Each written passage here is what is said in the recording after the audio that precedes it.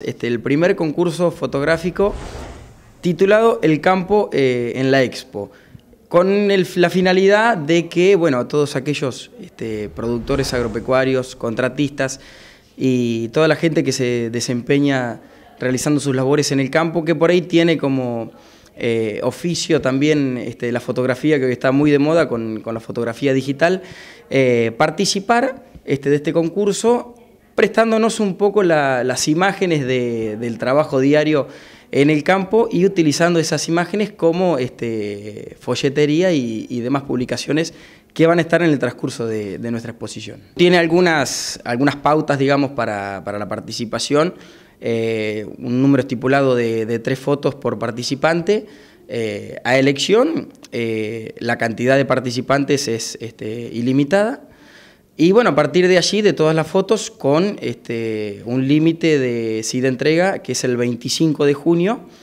de todas esas fotos se va a seleccionar un número aproximadamente entre 15 y 20 imágenes y se va a hacer una mención especial a la mejor imagen este, que, se haya, que se haya enviado, de la, cual obviamente este, va a estar contemplada en, alguna ubicación especial dentro de toda la, folletería, o ya sea la revista, los banners, este, va a tener una, ubicación particular. Sin ser de la calidad de, un fotógrafo, porque no vamos a, a competir contra, contra el oficio de fotógrafo, Tal vez esas imágenes tienen un, gusto especial y bueno, a través de esas imágenes poder apreciar lo que es la producción agropecuaria, sobre todo en nuestra provincia.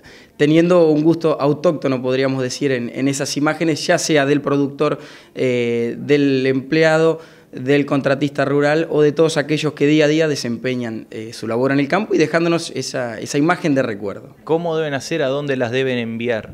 Mira, básicamente se puede hacer a través de las redes sociales oficiales de la Sociedad Rural de General Pico, a través de su mail, eh, se pueden entregar en formato digital acá en nuestra sede.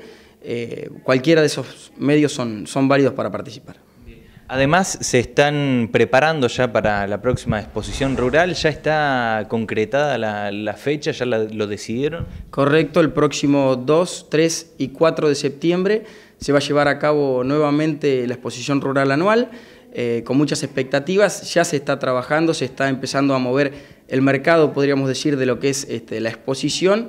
Todavía informalmente ya haremos este, seguidamente alguna conferencia de prensa para presentar con todos los auspiciantes y con toda la gente que año a año nos acompaña lo que va a ser eh, la exposición de este año 2016.